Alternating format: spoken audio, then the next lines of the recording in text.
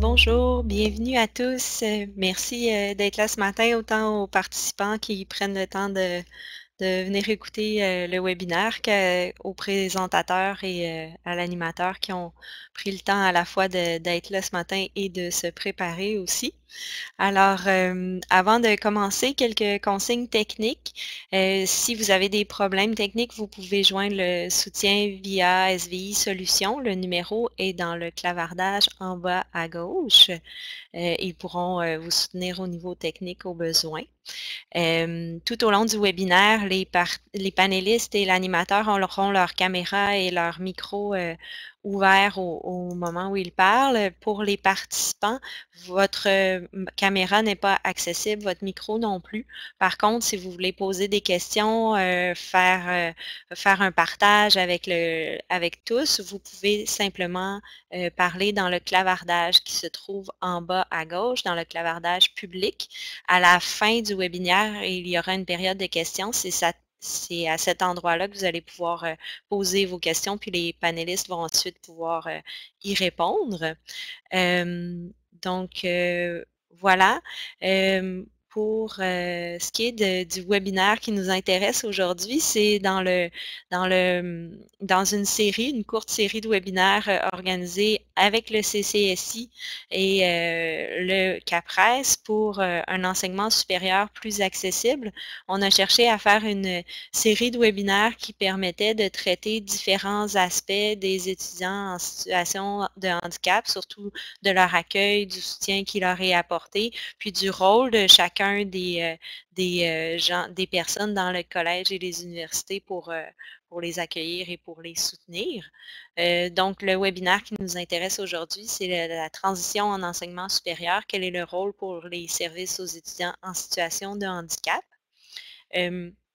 Pour ceux qui connaissent un peu moins le CAPRES, nos activités s'adressent toujours aux professionnels, aux conseillers, euh, que ce soit les conseillers pédagogiques, les conseillers dans les services aux étudiants et aux intervenants qui se trouvent à la fois au collégial et à l'universitaire.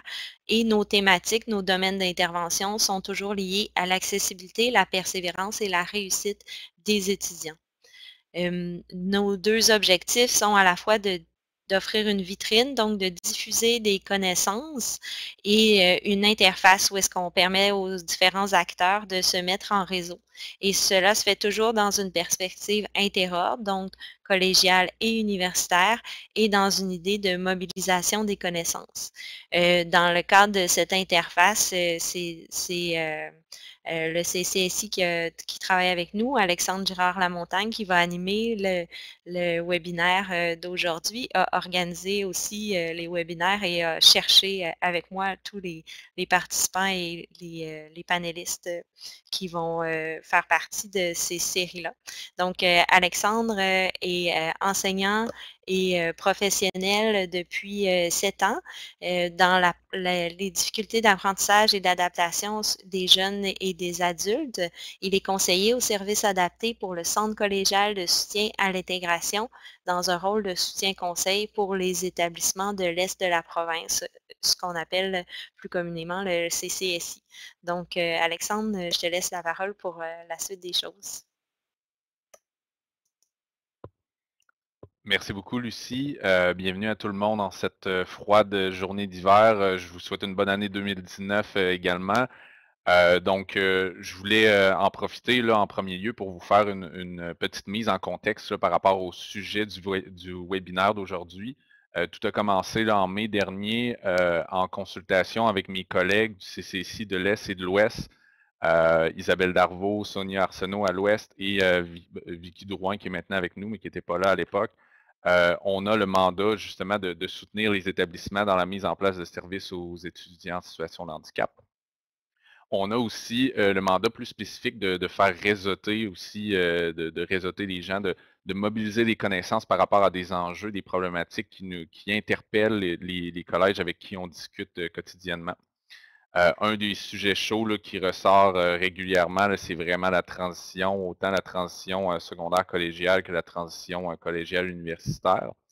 On, le voit aussi, on, est en contact avec le ministère, c'est une préoccupation de leur côté. Je pense que c'est un, sujet d'actualité. On voulait vraiment mettre en perspective ce qui se fait sur le terrain au collégial, du côté universitaire aussi, puis de, voir du côté de la recherche qu'est-ce qui, quelles sont les connaissances, quels sont les concepts là, présentement par rapport aux étudiants en situation de handicap qui vivent la transition au post-secondaire.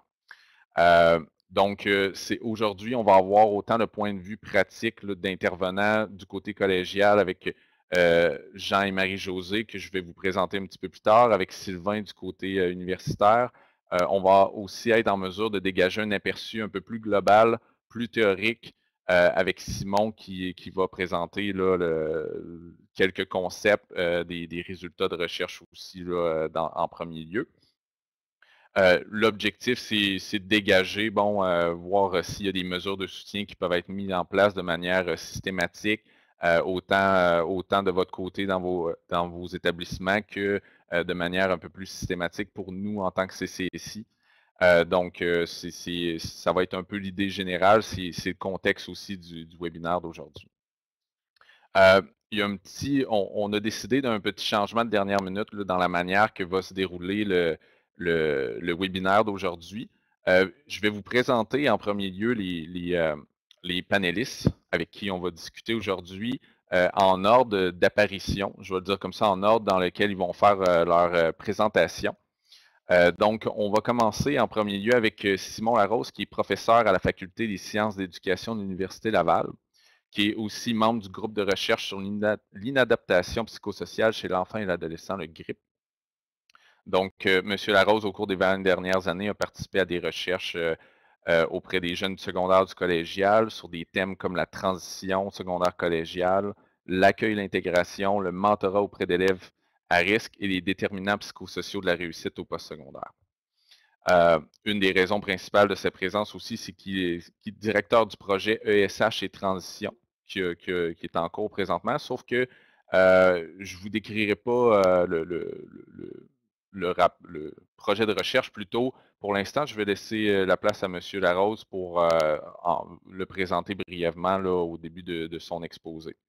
Par la suite, euh, Jean Royer du Cégep de Sherbrooke ainsi que sa collègue Marie-Josée Marie-Josée Lepage présentera dans le fond des, stratégies qui, qui, ont mis en place de leur côté pour soutenir, pour favoriser la transition des étudiants en situation de handicap au collégial.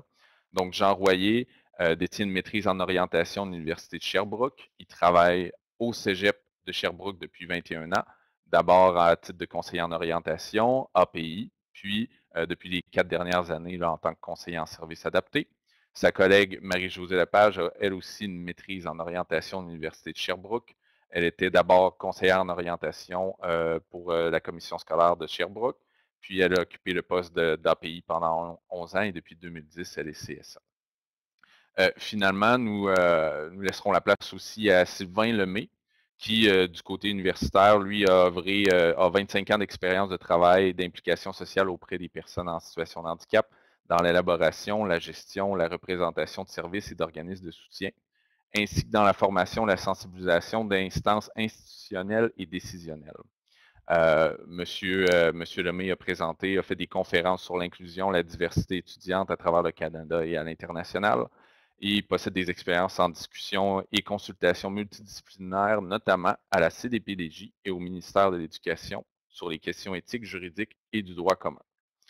Donc, euh, je vais laisser la place d'abord à M. Larose pour nous présenter un peu le, cadre conceptuel, sa recherche et ce que disent les recherches là, autant sur le sujet, sur la thématique abordée aujourd'hui. Puis on passera par la suite à, des exemples un peu plus pratiques au collégial puis à l'universitaire.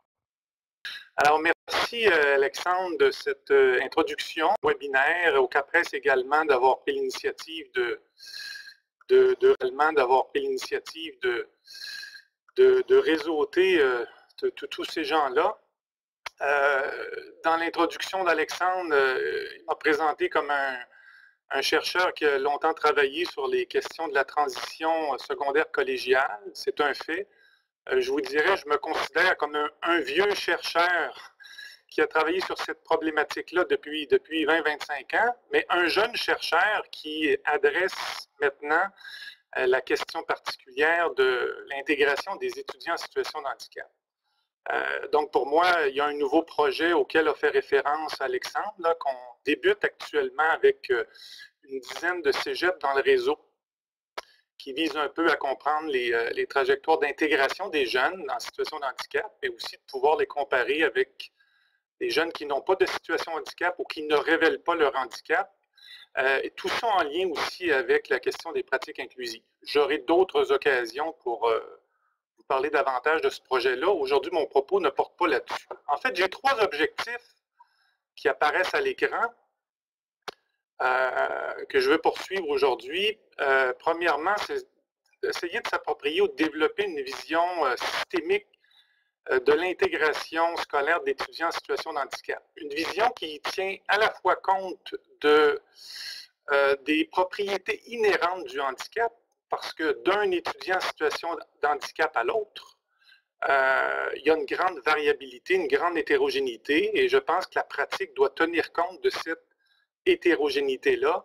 Donc, euh, une vision qui tient compte à la fois des propriétés inhérentes du handicap, mais également des, des appartenances multiples que peut avoir un étudiant en situation de handicap qui vit une transition, que ce soit vers le collégial ou vers l'université. Je parle d'appartenance multiple, c'est qu'il ne faut pas réduire l'étudiant en situation handicap seulement à son handicap, mais il peut appartenir à d'autres sous-population.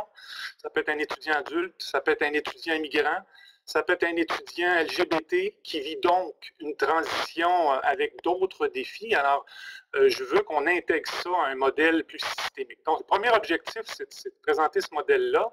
Le deuxième, c'est de vous présenter quelques données sur la prévalence historique, les besoins, perceptions qu'ont les étudiants en situation de handicap d'eux-mêmes, mais également des accommodements scolaires qu'ils reçoivent et aussi le regard des pères et des professeurs qui, eux, euh, ne sont pas en situation de handicap, mais sur l'étudiant en situation de handicap. Et finalement, de s'approprier euh, certaines pistes d'intervention qui sont proposées par la recherche. Voilà donc les trois objectifs que je poursuis dans mon intervention. Donc, euh, je, base l'intervention sur quelques références, mais j'attire votre attention sur deux celle que j'ai pointée en caractère gras. D'abord, un, volume que je peux vous montrer à l'écran ici, euh, euh, que je, vous invite, si vous ne le connaissez pas, euh, à vous procurer, qui est à référence de Evans Broido Brown, Disability in Higher Education, une perspective d'approche de justice, de justice sociale, qui est un volume récent qui fait le tour. Évidemment, c'est une littérature plus nord-américaine, mais qui fait le tour de l'ensemble des questions qu'on pose, euh, qu'on va poser aujourd'hui et que, vous vous posez à la lumière du cheminement des étudiants en situation de handicap aux études postsecondaires. Je vais également faire référence à la récente étude du, groupe ECOB qui a été dirigé par Marco Gaudreau euh, et qui présente les données de la grande enquête SPEC, le sondage provincial sur les étudiants du collégial, où pour une des premières fois, on a intégré la variable étudiant en situation de handicap, on l'a croisé avec un ensemble d'autres données. C'est intéressant d'avoir ce portrait-là en tête, donc je vais y faire référence dans ma présentation. Donc, je démarre avec une première proposition de ce modèle systémique de l'intégration scolaire de l'étudiant. Donc, quand je parle d'intégration, je parle de la qualité de l'adaptation, euh, que ce soit au plan social, les motifs, que ce soit au plan de la, préparation scolaire. Mais on pourrait intégrer aussi l'acceptation de son handicap et euh, la, propension à recourir aux services adaptés. On sait que la majorité des étudiants en, situation de handicap spontanément ne vont pas vers les services adaptés. Je vais le documenter tout à l'heure. Alors, le modèle que je propose est un modèle qui met en interaction, je vous dirais, deux, deux ensembles de facteurs. D'abord, le type, la nature du handicap, euh, en lien avec les environnements physiques, organisationnels et sociaux de l'institution dans laquelle l'étudiant a étudié, et dans lequel l'étudiant va étudier dans sa nouvelle institution. Donc, si on situe ça dans un contexte de transition, par exemple la transition secondaire collégiale, euh, quelles étaient les propriétés inclusives des environnements physiques, organisationnels, sociaux dans lesquels l'étudiant a cheminé et comment ces propriétés-là sont, encore présentes une fois que l'étudiant entre au cégep euh, ou différentes euh, selon que l'inclusion soit plus importante ou moins importante? Euh, il y a des données américaines qui nous indiquent, par exemple, évidemment, c'est très réduit, là, mais ça donne une idée que les, gens à mobilité réduite, les gens qui doivent se déplacer en fauteuil roulant, par exemple, euh, dans une étude longitudinale, nous indiquaient que euh, l'environnement physique était davantage adapté en enseignement postsecondaire que ça l'était au primaire ou au secondaire. Donc, il y a comme une discontinuité là-dedans. On peut comprendre, à cause par exemple, la désuétude de l'âge des, écoles primaires secondaires, que l'adaptation n'est pas toujours évidente au plan physique et que euh, les nouvelles constructions, les cégeps sont arrivés après et les universités, peut-être que l'environnement physique est plus, adapté, mais ça montre que la transition peut être euh, en discontinuité comme elle peut être en continuité euh, pour certains, certains étudiants.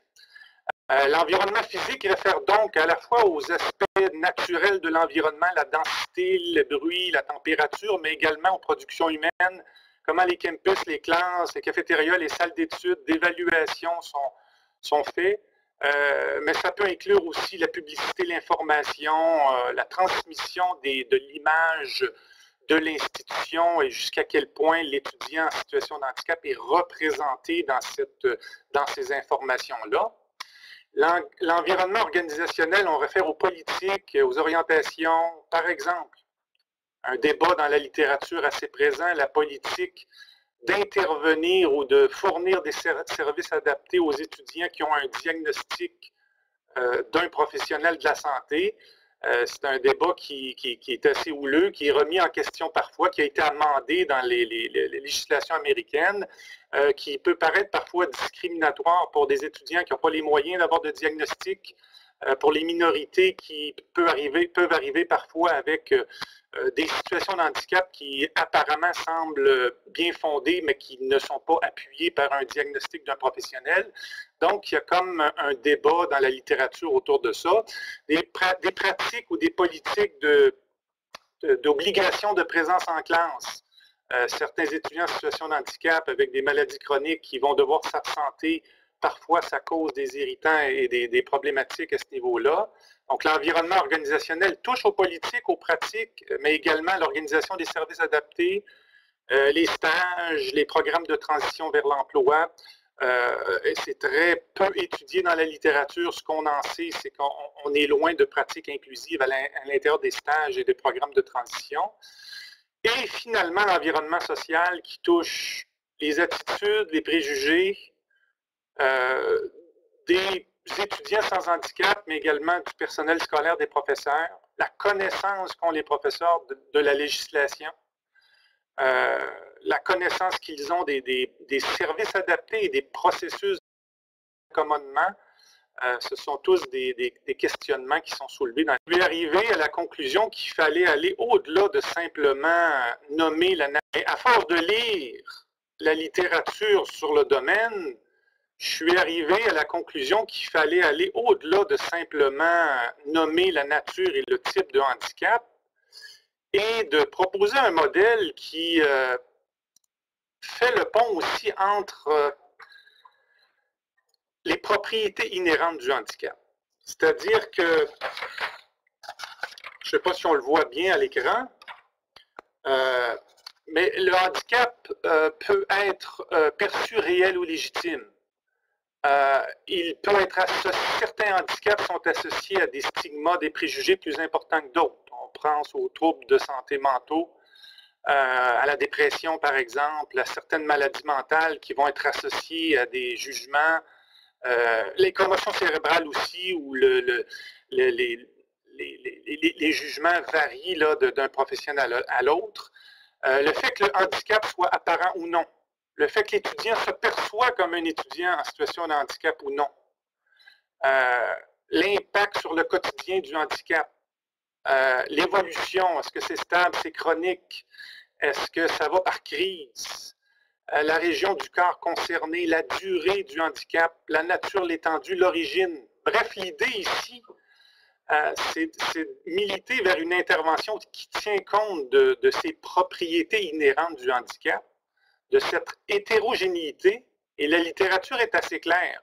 Parfois, il y a autant de différences entre deux étudiants qui présentent le même type de handicap parce que les expériences passées sont différentes, parce que l'expérience des pratiques inclusives est différente et qui requiert donc des accommodements différents, euh, qu'il y a de différences, par exemple, entre des étudiants sans handicap et des étudiants avec handicap. Donc, l'idée dans une intervention d'être très individualisée, singularisée, et de tenir compte des différentes dimensions du handicap est importante.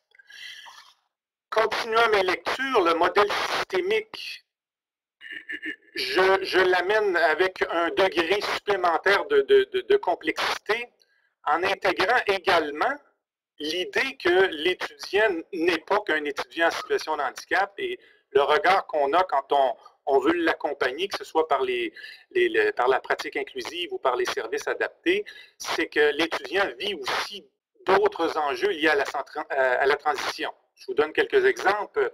Si l'étudiant fait partie d'une communauté LGBT euh, exposée à l'hétérosexisme, euh, pendant la transition, en interaction avec l'handicap, ça peut devenir complexe et un défi important. Si l'étudiant est immigrant, s'il immigre pour des raisons humanitaires ou économiques, euh, s'il provient d'une minorité culturelle, s'il a des, euh, certaines assises religieuses qui l'amènent à concevoir le handicap d'une façon différente, euh, l'enjeu sur la transition est important aussi. S'il vit une séparation pendant sa transition, s'il quitte le milieu familial, on sait que les jeunes qui vivent la séparation pendant la transition éprouvent plus de solitude, perçoivent moins de soutien pendant la transition, vivent plus d'anxiété. Euh, s'il est étudiant international, bien que les étudiants internationaux proviennent souvent de familles bien nanties, mais il y a des problématiques d'aide financière qui peuvent être présentes. Si l'étudiant en situation de handicap est un étudiant adulte, euh, souvent les adultes vont plus facilement accepter et aller vers les services adaptés, mais en même temps ont un rapport avec la réussite scolaire qui est plus chaotique que l'étudiant non adulte. Euh, allons vers les, étudiants de familles militaires ou de militaires eux-mêmes qui ont pu vivre des, stress post-traumatiques, l'étudiant parent. Bref, en fait, vous avez l'ensemble de, des particularités. L'idée que je veux amener ici, c'est que l'intervention, l'adaptation, l'accommodement n'est pas que relié à la définition du handicap, mais elle est aussi tributaire de l'appartenance de l'étudiant à d'autres sous-populations et des enjeux identitaires qui accompagnent cette appartenance-là à d'autres sous-populations. Je me tourne donc maintenant vers euh, quelques données de la recherche et euh, je vous invite ici à prendre connaissance des données de l'enquête euh, publié par le, groupe ECOM sur les données SPEC, donc le sondage provincial sur les étudiants du collégial, un sondage auquel a participé plus d'une quarantaine de cégeps dans le réseau anglophone, francophone, plus de 11 000 étudiants du collégial. Et on a posé la question aux étudiants, aux étudiants nouvellement arrivés au collégial, à savoir s'ils se considéraient en situation de handicap, en nommant les handicaps traditionnels et émergents qu'on retrouve habituellement dans la littérature. La donnée est quand même assez impressionnante. 22,6% des étudiants euh, se sont dit en situation de handicap à leur entrée au collégial. De ce 22 %-là, en fait, euh, la tarte du 22 se divise en deux. 11,2% disent qu'ils ont un diagnostic. Donc, ce qu'il faut comprendre, c'est qu'il y a 22,6% qui disent « je me considère en situation de handicap » et 11,2% ont un, diagnostic. Le reste n'a pas de diagnostic, mais ils se considèrent tout de même en situation de handicap. Quand on leur demande s'ils prévoient utiliser les services adaptés, de ce 11,2% qui ont un diagnostic d'un professionnel, c'est 36,4% qui prévoient les utiliser. Donc, il faut avoir en tête que la majorité, la grande majorité, qui ont un diagnostic d'un professionnel, à tout, le moins rapporté dans le sondage, euh, ne prévoient pas les utiliser. Peut-être parce qu'ils ne les connaissent pas. Peut-être parce qu'ils ils, ne veulent plus les utiliser, peut-être parce qu'ils euh, veulent être autonomes et euh, démontrer leur, leur, autonomie, mais il reste qu'on échappe une majorité de jeunes qui sont en situation de handicap et qui ont un diagnostic. On, sait de la littérature, euh, je vous dirais, nord-américaine, que la révélation du handicap et le recours aux services adaptés va être plus fréquent, plus probant euh, lorsque le handicap est visible, d'ordre biologique, connu depuis l'enfance, non stigmatisé. Donc, on peut penser que plus il est intégré à l'identité de l'étudiant, puis, spontanément, il va recourir aux services adaptés et il va demander l'aide des services adaptés. Euh, par ailleurs, les étudiants qui éprouvent des problèmes de santé mentale, euh, des troubles comme le lié au, sida, commotion cérébrale, fatigue chronique, c'est des troubles qui ont été associés à une faible probabilité de recourir aux services adaptés, à tout le moins dans la littérature nord-américaine. Euh, il faut comprendre que tout ça est, relié aussi à l'intégration du handicap dans la définition de l'identité de l'étudiant. Si on poursuit avec ces données-là, toujours les données SPECT, euh, les chercheurs ont regardé la différence que vous avez à gauche entre l'étudiant en situation de handicap et les étudiants sans handicap, puisque le sondage a porté sur l'ensemble des étudiants. Et ce qu'on note à partir de cet échantillon-là, c'est que les étudiants en situation de handicap sont plus nombreux à rapporter avoir une moyenne générale au secondaire inférieure à 70% moins nombreux à avoir réussi tous leurs cours au secondaire. Ils sont moins nombreux à valoriser l'éducation, les études universitaires. Sont plus nombreux à envisager un changement de programme au collégial, alors qu'ils n'ont pas commencé ils sont au début de première session. Sont plus nombreux à avoir un emploi rémunéré pendant les études en première session moins nombreux à recevoir du soutien financier de leurs parents, plus nombreux à s'inquiéter au plan de leurs finances, plus nombreux à manifester des besoins de soutien en langue d'enseignement, au plan des stratégies d'études, plus nombreux à éprouver des difficultés à contrôler leur stress, à se motiver face aux études, à gérer leur emploi, à résoudre des problèmes financiers, moins nombreux à désirer participer aux activités sportives ou culturelles du collège, et plus nombreux à prévoir utiliser les services d'aide à la réussite euh, et les services psychologiques. Donc, un profil assez clair, évidemment, tout en sachant qu'on mélange plein de gens à l'intérieur de l'étiquette étudiant en situation de handicap, euh, mais que l'anticipation, puis, puis la, préparation des étudiants est, davantage à risque quand, on les compare aux étudiants qui ne sont pas en situation de handicap. Euh, est-ce qu'il me reste un peu de temps, Alexandre? Je ne vais pas prendre le temps de mes, collègues. Je pourrais en avoir pour 3-4 minutes. Oui, ça peut aller pour les 3-4 minutes euh, restantes.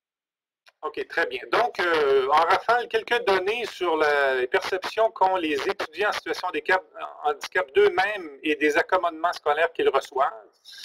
Malheureusement, ce ne sont pas des données québécoises, c'est des données euh, euh, plus américaines, mais ça nous permet de, prendre connaissance un peu du portrait. 25% des étudiants en situation de handicap craignent de discuter d'accommodement avec leurs professeurs. 33% donc le tiers estime que leurs professeurs les verraient autrement s'ils connaissaient la, nature de leur handicap. Et quand on parle de, de voir autrement, c'est de les voir moins positivement qu'ils le sont euh, sans révéler leur handicap si on poursuit en rafale, surtout lorsque le handicap est non visible, une majorité d'étudiants en situation de handicap rapportent qu'ils ont dû composer avec le refus d'enseignants qui ne voulaient pas fournir d'accommodement, euh, en dépit du fait que les accommodements euh, pouvaient être prescrits par euh, les services adaptés des collèges. Le mentorat par des professeurs et professionnels est reconnu comme un facteur de réussite pour les étudiants en situation de handicap le mentorat par des adultes devant eux-mêmes composer avec un handicap semble particulièrement probant. Donc, des tendances qui pourraient nous amener à discuter des, interventions euh, préventives. L'étudiant en situation de handicap accorde autant d'importance à la relation avec son conseiller au service adapté qu'aux accommodements entendus. En d'autres termes, parfois, les accommodements semblent rencontrer un besoin, mais si le rapport au conseiller n'est pas optimal, euh, ça peut teindre un petit peu la qualité de l'intégration de l'étudiant euh, dans son institution. Les groupes de soutien de pairs partageant les mêmes problématiques sont perçus très aidants par les étudiants en situation de handicap.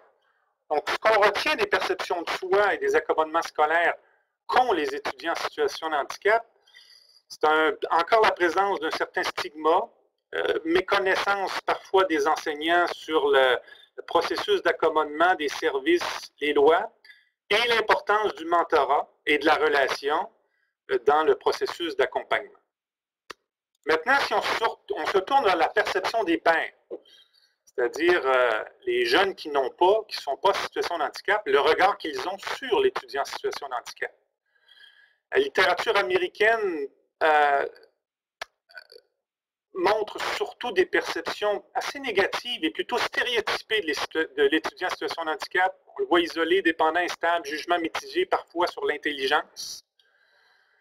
Euh, des motivations d'amitié et de romance qui sont plus faibles envers les étudiants en situation de qu'envers les autres étudiants. Donc, en termes d'intimité, de relation, de rapport avec les autres, c'est plus complexe. Les étudiants masculins qui ont des perceptions plus négatives, négatives de l'étudiant en situation de handicap que les étudiants féminins, et aussi les étudiants de programmes à vocation scientifique qui ont des perceptions plus négatives que les étudiants qui proviennent de programmes à vocation sociale et humaine. Les étudiants qui ont un étudiant en situation de handicap dans leur classe et pour qui c'est nommé et apparent euh, rapportent des attitudes plus positives envers les étudiants en situation de handicap donc, en fait, c'est souvent la méconnaissance qui fait que les jugements sont maintenus. Et lorsqu'on connaît quelqu'un et, qu'on est capable de faire la nuance, euh, ces jugements-là tombent.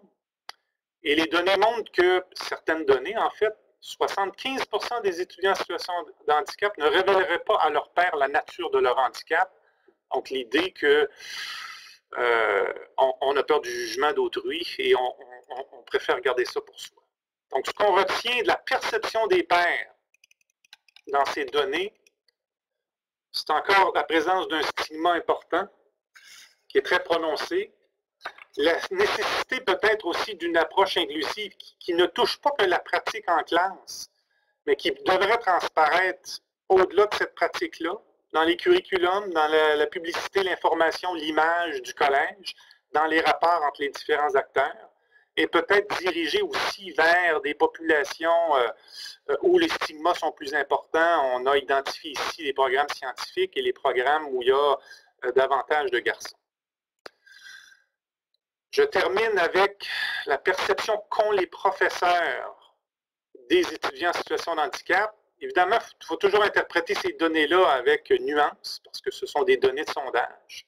De façon générale, on rapporte que les professeurs ont des attitudes positives envers les, étudiants en situation de handicap, parfois même admiratives, euh, qu'ils accueillent positivement les demandes d'accommodement lorsqu'elles celles-ci sont mineures, prise de notes, enregistrement de cours, temps supplémentaire, qu'ils sont plus réticents lorsque l'accommodement implique des évaluations alternatives, des modifications de cours, donc évidemment qui interpellent la charge de travail la résistance sera plus importante chez les professeurs masculins et ceux provenant de programmes à vocation scientifique et de programmes d'administration. Encore là, il faut interpréter ça avec nuance. Là, ce sont des données américaines.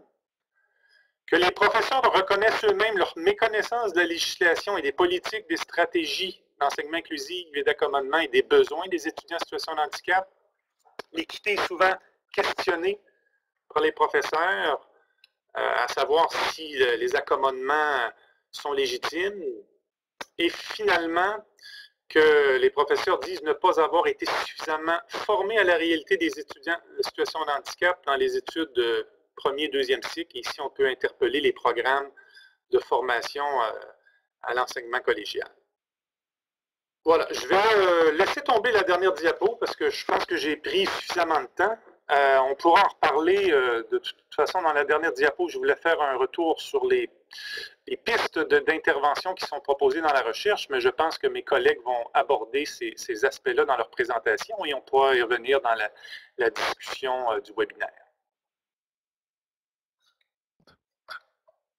Merci beaucoup, M. Larose. très intéressant. Euh, quelques petits commentaires par rapport à ce qui a été euh, présenté précédemment. Euh, on a parlé brièvement des conditions inhérentes à la situation de handicap, puis j'en profite pour, mentionner que ben, ça, en fait, ça emmène toute l'importance de la détermination, de la justification des, accommodements en fonction de la situation particulière de l'étudiant. Puis on va avoir un autre webinaire qui s'en vient sous la même sous la même bannière, si on veut, la collaboration CAPRES et CCSI, qui à la mi-février sur le sujet. Euh, qui, consistera en des regards pratiques. Sylvain Lemay va d'ailleurs euh, faire partie de ce webinaire-là, ainsi que euh, deux autres conseillères en services adaptés. Vous, allez voir sortir très prochainement la, publicité à ce sujet.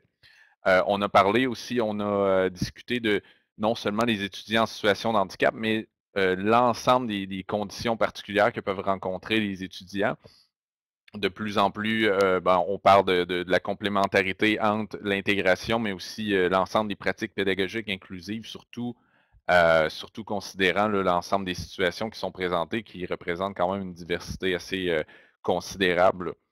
vous avez mentionné, puis je voulais, je voulais aussi traiter de ce sujet-là en tant que CCSI, c'est sûr, comme je l'ai présenté précédemment, on est en contact avec les, différents établissements, on discute beaucoup avec eux, on entend parler des problématiques sur le terrain, en quoi ça consiste exactement cette problématique-là de, la transition, qu'est-ce qu'on voit, qu'est-ce qu'on entend? Euh, on ne prétend pas parler pour tous les collèges, mais euh, dans notre cas, ce qu'on voit, puis M. Larose l'a mentionné, un étudiant des étudiants qui arrivent au collégial, qui pensent ne plus avoir besoin de leur mesure d'aide, qui pensent être en mesure de, pouvoir euh, compléter, de continuer là, avec toute l'autonomie nécessaire, alors qu'il y a une, adaptation des stratégies. On a besoin d'améliorer ces stratégies d'études comparativement au secteur jeune. Euh, puis, je combinerai aussi à ça toute l'importance de la détection qui est faite dans les classes, mais qui euh, ben, à cause des contraintes euh, justement environnementales, des, enseignants qui ne voient pas beaucoup leurs étudiants au cours d'une session, euh, des, enseignants aussi qui ont un gros volume d'étudiants, c'est beaucoup plus dur de détecter des, difficultés potentielles qui pourraient nécessiter un, soutien de la part des services adaptés. un des enjeux aussi qu'on nous, nous témoigne régulièrement, c'est toute la question de la communication du fonctionnement des établissements d'enseignement collégial vers les commissions scolaires. Euh, on sait que, bon, pour certaines régions, c'est beaucoup plus facile quand il y a un cégep, une commission scolaire, euh, bon, de, transmettre cette information-là. On prépare une meilleure transition parce que euh, les étudiants, ils sont, sont mieux préparés, ils savent comment préparer leur rencontre d'admission au service adapté, tandis que dans les grands centres, bon, à Montréal, à Québec, quand il y a plusieurs cégeps, qu'il y a plusieurs commissions scolaires, c'est là où euh, il y a nécessité d'avoir une démarche systématique, ce qui n'est pas encore euh, nécessairement le cas, bien qu'il y ait des efforts à ce niveau-là. Euh, donc, ce qu'on voit, ce qu'on entend parler, les conséquences, c'est bon, un, étudiant qui va arriver et qui va penser que le dossier a été transféré automatiquement de la commission scolaire au Cégep sans qu'il y ait nécessairement une intervention d'un côté ou de l'autre. Euh, on a un étudiant qui arrive avec des documents, il lui manque des documents essentiels pour sa rencontre d'admission. Il arrive seulement avec son plan d'intervention, euh, qui n'arrive pas nécessairement avec les rapports euh, diagnostiques qui seraient nécessaires à la mise en place d'accommodement. donc, ce qui, ce emmène des délais aussi dans, dans les rencontres d'admission, c'est-à-dire le cégep qui va euh, dire à l'étudiant, ben, il faut que tu te procures ces documents-là, que tu les emmènes, puis après ça, on va vraiment pouvoir euh, te rencontrer. Donc, ces délais-là peuvent avoir un impact assez important dans les premières semaines, voire la mi-session d'un étudiant euh, qui, arrive d'un étudiant en situation de handicap. Ce qu'on voit aussi beaucoup, puis on, pourra peut-être y revenir là, avec les mesures qui sont proposées, c'est des différences majeures dans la philosophie entre la mise en place de mesures de soutien au poste secondaire versus au secteur jeune. Euh, euh, un des éléments principaux étant le, fait que le plan d'intervention n'est pas nécessairement reconduit tel quel, que certains éléments peuvent, oui, être transférés, alors que d'autres non, dépendamment de l'analyse de la situation. Puis M. Larose a, beaucoup a, élaboré sur ce, que, pouvait être en détail la, situation à analyser. L'étudiant qui demande des mesures d'aide pour obtenir des résultats satisfaisants. Puis ça, on l'a vu dans des, des démarches d'accompagnement auprès d'enseignement auprès de Cégep. Euh, des étudiants qui, dans leur communication, disent ben, afin d'avoir des, résultats satisfaisants, j'aimerais avoir telle mesure de soutien, alors que ce n'est pas pour obtenir des résultats satisfaisants, la philosophie, mais c'est plutôt pour pallier ces difficultés marquées, pour lui donner des chances égales de réussir par rapport à l'ensemble des étudiants. Là, ici, un, changement de paradigme important. Euh, la fameuse question du diagnostic, qui, elle, encore est euh, très variable d'un établissement à l'autre. Euh, qu'est-ce que les, euh, cégeps ou les collèges privés acceptent euh, en termes de documentation pour mettre en place des, services, c'est encore variable, ça évolue, mais c'est loin d'être la même chose que dans certaines écoles du secteur jeune. Il y a une dernière chose aussi peut-être à mentionner, c'est que d'un établissement à l'autre, ben, les ressources ne sont pas nécessairement les, les mêmes pour, pour ce qui est des services adaptés. Euh, puis, ce que ça peut emmener, c'est qu'il va y avoir des accommodements qui pourront ou ne pourront être offerts à ce, moment-là. Il y aura peut-être des accommodements euh, compensatoires qui sont offerts pour le même besoin. Donc, c'est de, se retrouver dans tout ça euh, en tant qu'étudiant, en, tant que, en tant que parent. donc, nous avons vu, on a vu un petit peu le, cadre théorique, les concepts principaux associés à la transition. Euh, l'objectif, comme je le disais, c'était d'aller voir euh, des, pratiques euh, qui promettent du côté des, établissements d'enseignement collégial, du côté universitaire aussi, voir le contexte de ce côté-là. Donc, je vais laisser la parole à ce moment-ci à, Jean et à Marie-Josée pour nous parler de, ce qu'ils ont essayé, de stratégies qu'ils ont, ont, mis en place dernièrement, puis voir, bon, ben, qu'est-ce que, qu'est-ce que ça pourrait emmener là, comme euh, solution aux, différents, euh, différentes problématiques qu'on a énumérées. Donc, euh, je vous laisse la parole. Alors, bonjour. Merci pour l'invitation. Vous m'entendez bien? Oui, vous m'entendez bien? OK. Alors, j'imagine que ma petite présentation va apparaître à l'écran dans quelques instants. simplement pour vous dire, on va faire ça en deux temps. Moi, dans un premier temps, je vais vous expliquer le contexte qu'on a au cégep de Sherbrooke. Certains éléments, je pense, peuvent être transférables dans d'autres cégeps, mais on n'a pas la prétention que ça peut se faire dans tous les, dans tous les cégeps compte tenu de notre situation géographique. Euh, Alexandre a brièvement fait allusion aux différentes réalités dans les différents cégeps. Alors, on va vous parler de, notre expérience ici au cégep de Sherbrooke. Et tant mieux si euh, ça peut euh, être utile pour d'autres cégeps. Alors, euh, le cégep ici à Sherbrooke, euh, des fois, quand on faisait des tournées en région à Montréal, plus particulièrement, oups, je pense qu'on vient de. quand on allait dans la région de Montréal, on se faisait demander c'était quelle bouche de métro pour aller à Sherbrooke, parce qu'il y a une station euh, qu'on appelle Sherbrooke à, Montréal. Voyons, je pense que ça revient automatiquement. Mais on est quand même le plus gros cégep en région en dehors de Montréal. On a près de 6 000 étudiants. On est euh, présent dans les cinq secteurs techniques. Je ne sais pas ce qui se passe avec la présentation. Euh, mais par contre, euh, la particularité qu'on a, c'est qu'on est le seul cégep francophone dans un rayon de 50 km, d'où l'importance du contexte et de notre projet qui peut être pas nécessairement applicable dans tous les cégeps. On a tenu compte de notre réalité. Je ne sais pas ce qui se passe avec le fait que ça... ça et notre cégep aussi a la particularité au niveau physique d'être assez grand. On a plusieurs hectares, euh, plusieurs pavillons. On est dans une côte. Alors, ça occasionne des défis pour les personnes à mobilité réduite. On a des étudiantes à, mobilité réduite. Ça nous a donné euh, beaucoup de, de, pain sur la planche pour rendre les pavillons le plus accessible possible. Euh, et on fait affaire dans notre région avec trois commissions scolaires, ce qui a été facilitant pour mettre de l'avant notre projet.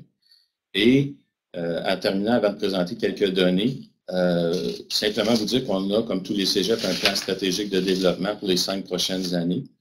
Et euh, un des, chantiers mis de l'avant, des premiers chantiers, c'est faciliter la transition secondaire collégiale. Et notre projet s'inscrit dans cet axe-là, de faciliter la transition secondaire collégiale. Donc, on a évidemment l'appui de notre direction dans ce projet qu'on a mis de l'avant euh, l'hiver passé, qu'on va poursuivre euh, cet hiver. Alors, je ne sais pas si on va être capable de stabiliser l'image. Euh, je souhaite. Alors là, je pourrais passer à la prochaine diapositive en espérant que ça ne change pas à tout bout de champ. Je pense que la réalité que je vais vous montrer ici, ça fait écho dans plusieurs cégeps, ce n'est pas particulier à notre cégep, c'est l'augmentation fulgurante euh, du nombre d'étudiants en situation de handicap euh, dans, notre, dans notre cégep. si vous voyez qu'en 2010-2011, on avait une population générale de 6501 étudiants. Je m'excuse, ça va être étourdissant si on continue pas stabiliser l'image. On avait 173 euh, étudiants au service adapté. Ça représentait 2,6% des étudiants. Et on regarde huit ans plus tard, nous sommes rendus à 842 et euh, sur une population de 5 000. Notre population étudiante diminue. On savait par les courbes démographiques que c'était la tendance qu'on aurait dans les, euh, années qui vient de passer. Ça devrait augmenter. J'ai été particulièrement attentif à la donnée de M. Larose euh, qui a mentionné que 22,6% des étudiants au collégial se perçoivent en situation de handicap. Donc, ce que ça veut dire, c'est qu'on n'a peut-être pas fini, pas fini de l'augmentation qu'on a connue n'est pas terminée. Mais ce que ça a comme ce que ça occasionne, évidemment, euh, ces augmentations-là, c'est une pression à la session à l'entrée, à la session d'automne au Cégep. Euh, cette pression-là, on la ressent.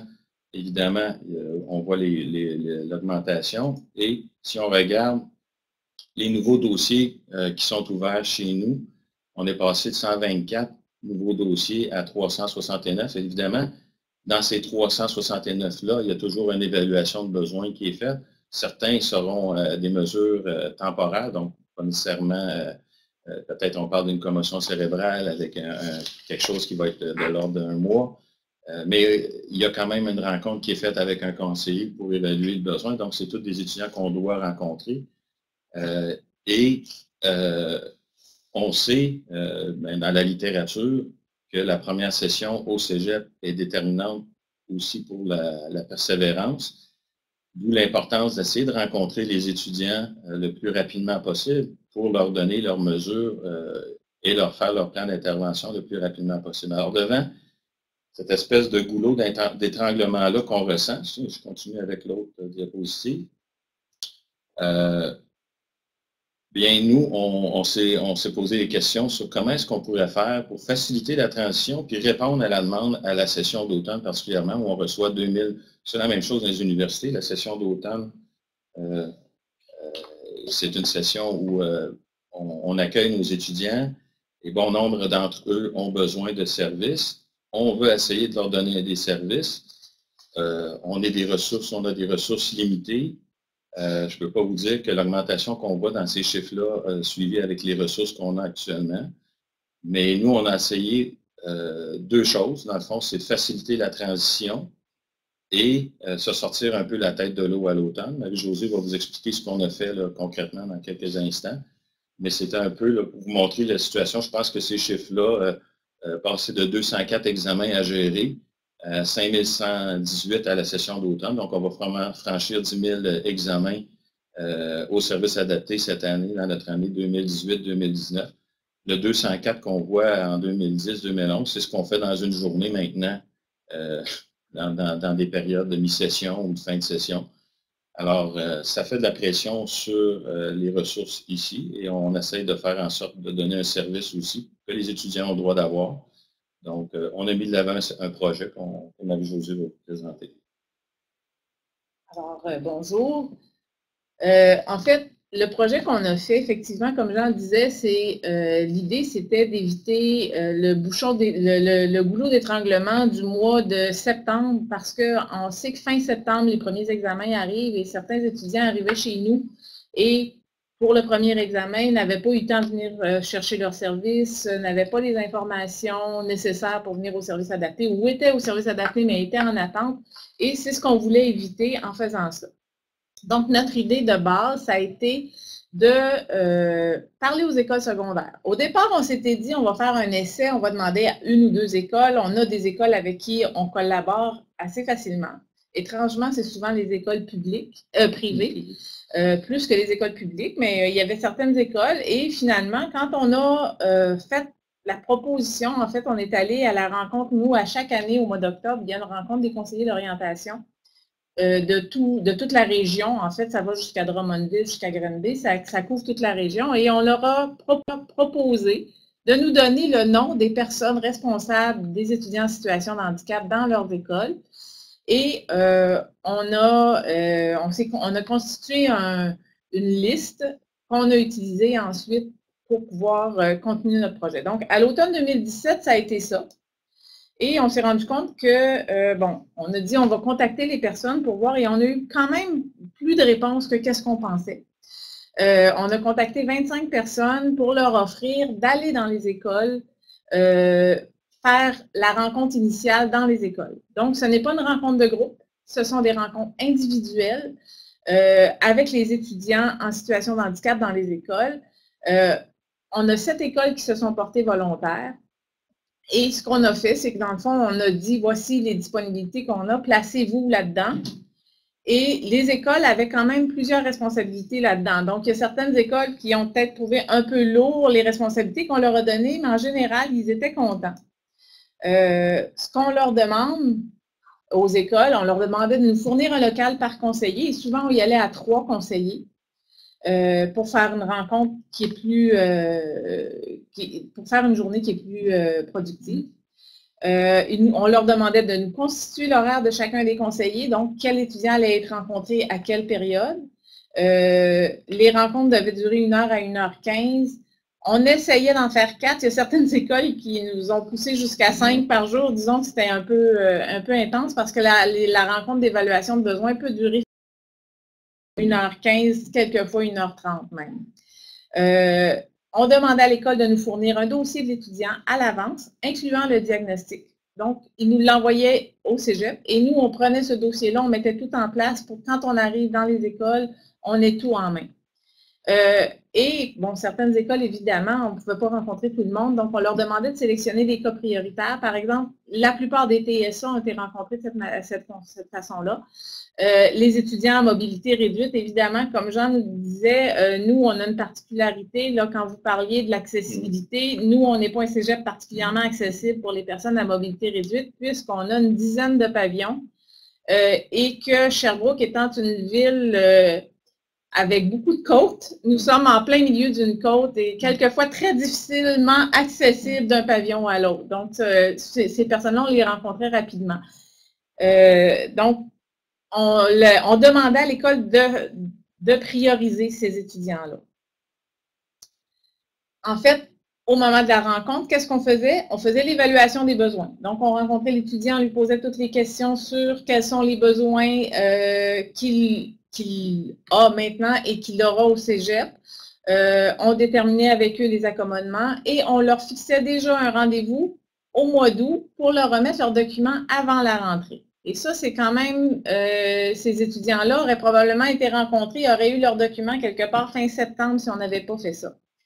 On s'est rendu compte d'un plus en allant dans les écoles, c'est le fait que, euh, puisqu'on était directement en contact avec les intervenants, euh, on avait beaucoup plus d'informations sur les étudiants. On sait qu'un étudiant du secondaire, euh, quand on commence à lui poser des questions, euh, non, j'ai pas de problème avec le stress, j'ai pas de problème avec ça, et tout à coup, la directrice me dit, à ah, cet étudiant-là, des fois, il peut partir en milieu d'un examen parce qu'il est en crise.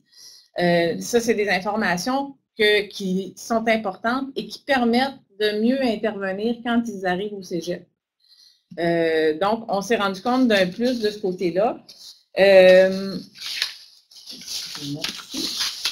donc, si on conclut euh, ce qu'on a pu faire, de ce que ça nous a donné au total, ça nous a donné 60 étudiants qui ont été rencontrés de cette manière-là. Donc, on a eu beaucoup de sorties dans les écoles. On a fait sept, écoles, mais euh, il y a des écoles qu'on a fait plus qu'une journée. et on y allait généralement à trois conseillers à chaque fois ça, nous a permis aussi que nos éducatrices spécialisées puissent rencontrer les étudiants TSA avant la rentrée afin de prévoir une visite. Donc, nos étudiants, la plupart des TSA, quelques dyspraxiques aussi, euh, on leur offre une visite avec euh, un étudiant de chez nous qui va leur montrer les, endroits stratégiques au cégep, les endroits où ils peuvent être plus tranquilles, par exemple, pour manger euh, ou aller chercher leurs livres, toutes ces choses-là, avant que les étudiants arrivent. Donc, on fait cette visite-là et en les ayant rencontrés d'avance, on peut déjà fixer cette rencontre-là, la rencontre avec les éducatrices spécialisées. Et l'avantage que ça a aussi, c'est une diminution de l'attente pour les autres étudiants. Parce que les étudiants qui ne, sont pas dans ces écoles-là qu'on a fait, ben normalement, aurait fait aurait été, tout ce monde-là aurait été dans la liste d'attente et finalement, l'attente aurait été plus longue. Donc, on a réussi à diminuer un peu la liste d'attente. Je dis un peu parce qu'on a eu quand même une bonne augmentation cette session-là. Donc, au total, ça n'a pas paru tant que ça, mais ça aurait été pire si on n'était pas allé dans les écoles.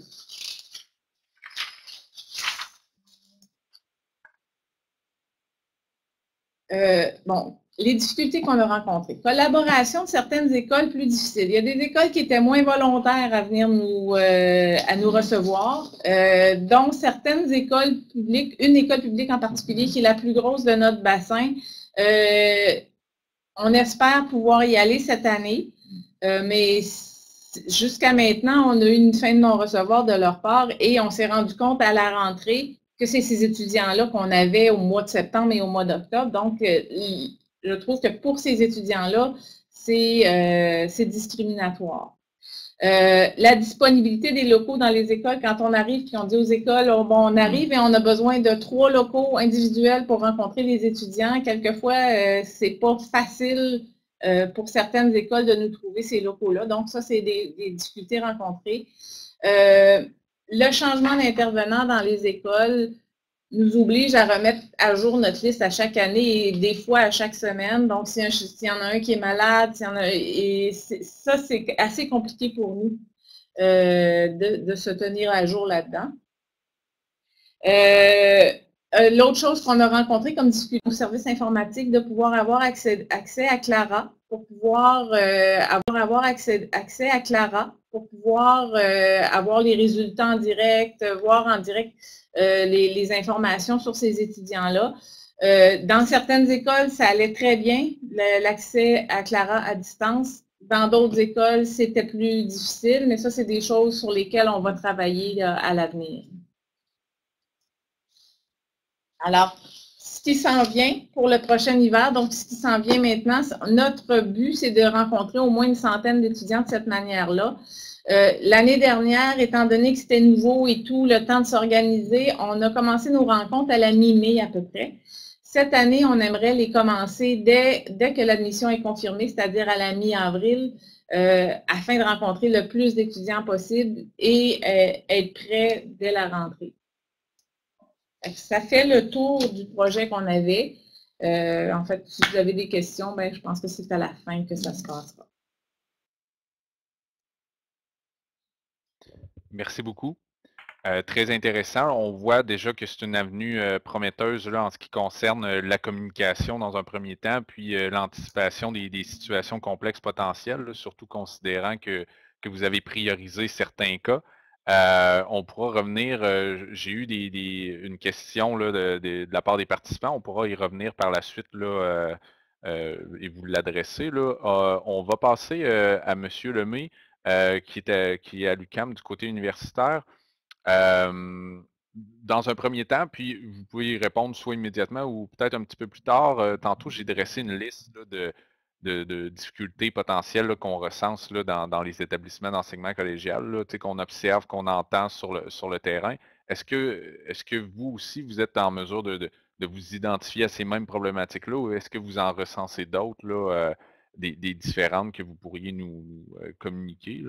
Euh, donc, c'est libre à vous de, de, soit de, commencer par là ou de peut-être de, terminer votre présentation sur ce sujet-là.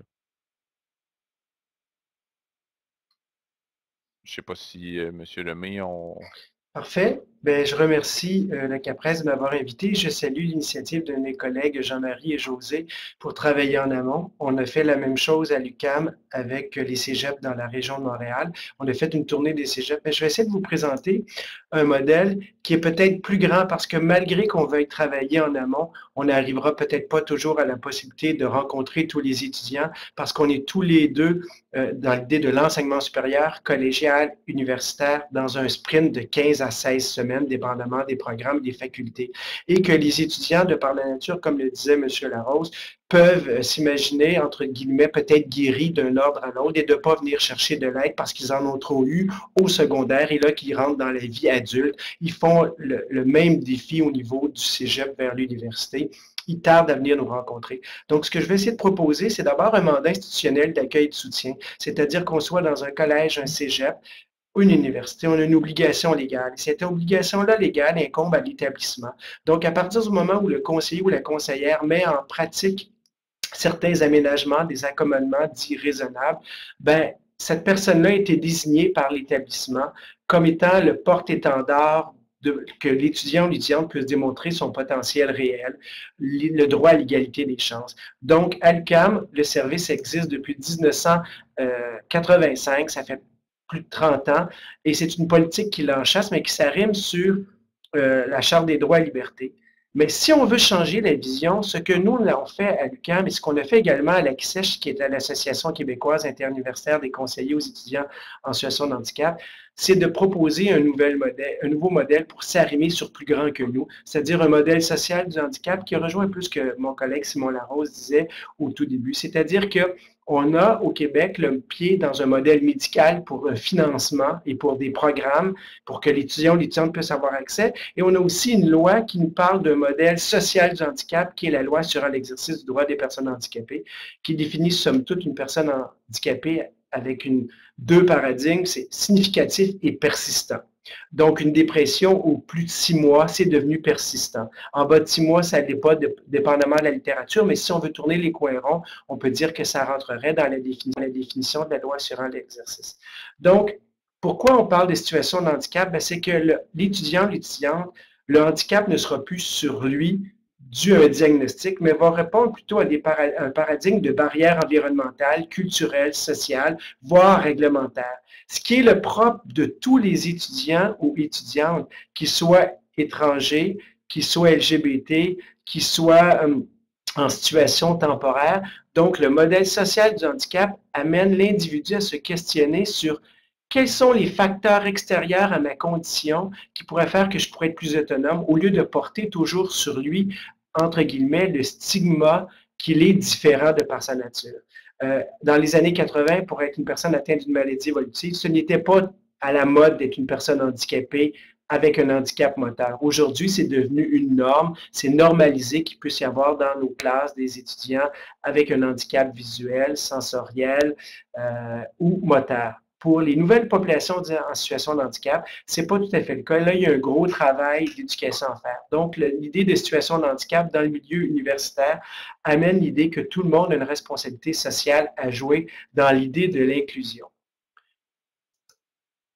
Donc, si on va avoir un petit graphique, l'idée de l'individu qui est au centre de nos interventions, ben, il y a des incapacités, il y a des capacités, il y a des préférences, il y a un projet de vie, il veut une participation sociale, mais il y a une déficience qui va se heurter avec des facilitateurs, ça peut être le conseiller ou la conseillère peut être un de ces facilitateurs-là, l'enseignant également, mais également des obstacles.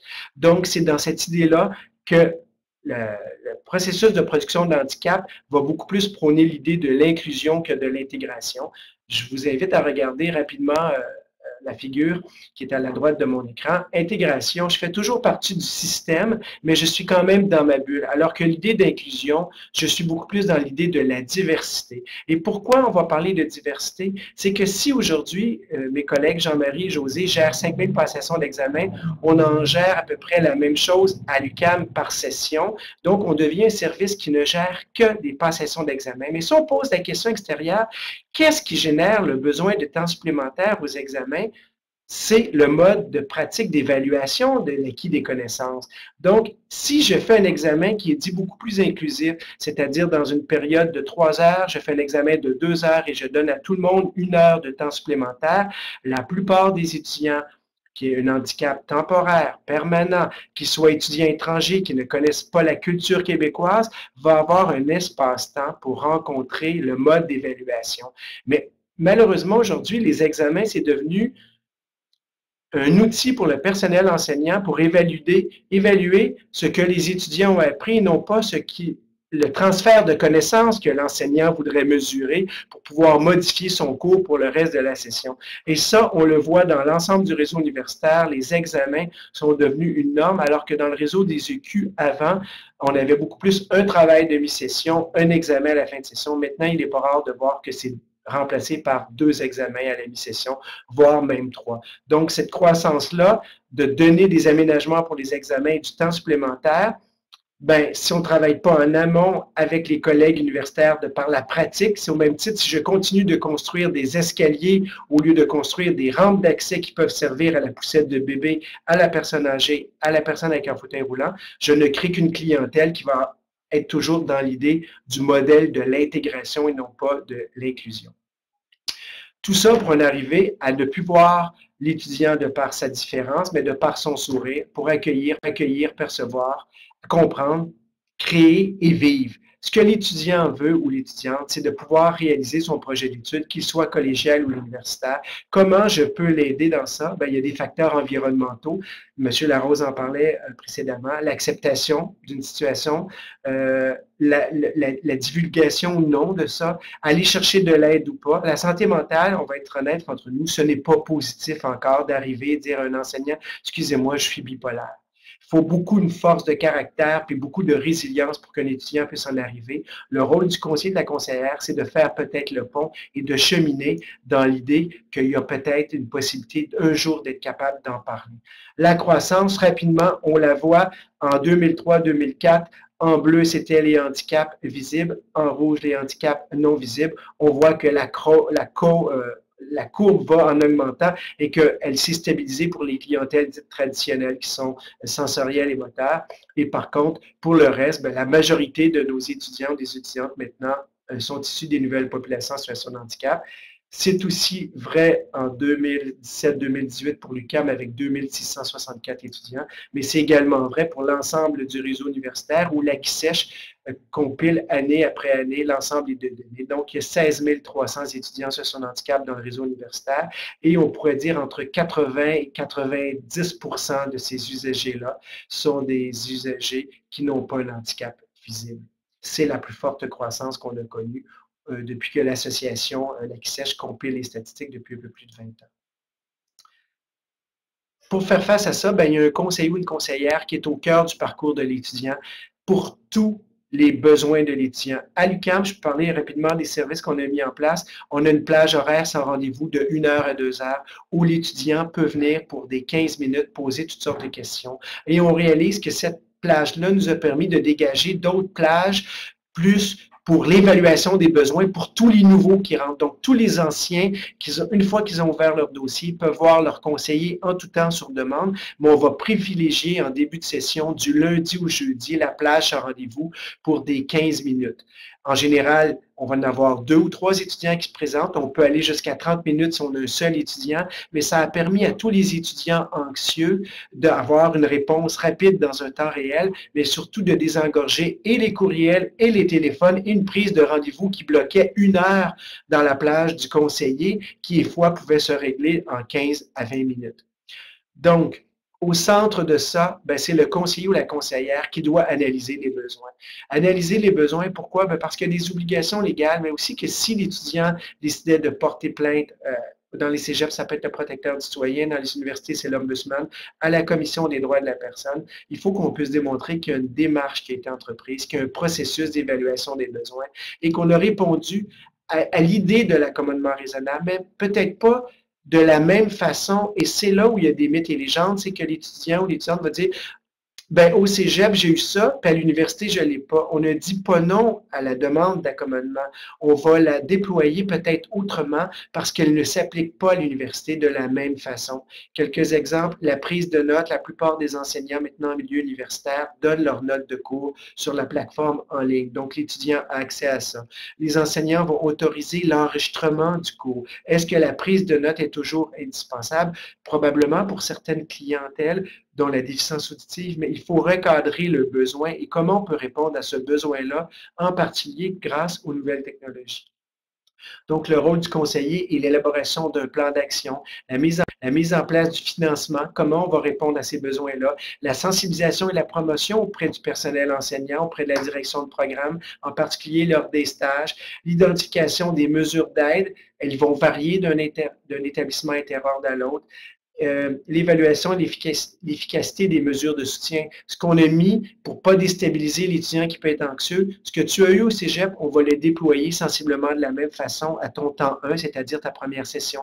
Mais je voudrais que tu réfléchisses parce que les examens à l'université, de plus en plus dans une idée de pédagogie inclusive, on va faire un examen de deux heures dans une plage de trois heures. Donc, le temps supplémentaire auquel tu tiens, mordicus, qui est selon moi souvent une fausse sécurité qui a été mise en place au primaire ou secondaire pour répondre à un programme X qu'on reproduit sans cesse, bien, dans les chiffres, dans les 12 000 passations d'examen que l'UQAM va gérer cette année annuellement, la moitié du temps supplémentaire n'est jamais utilisé.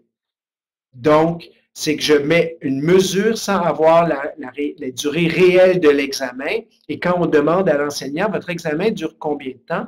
Ben, ils vont nous dire en général 2h15, 2h30, puis des fois 2 heures de plus en plus parce qu'on a, je l'ai mis en référence dans la présentation, un comité groupe de travail inclusif à l'UQAM qui se penche avec le personnel enseignant à regarder nos pratiques qui sont génératrices de situations de handicap.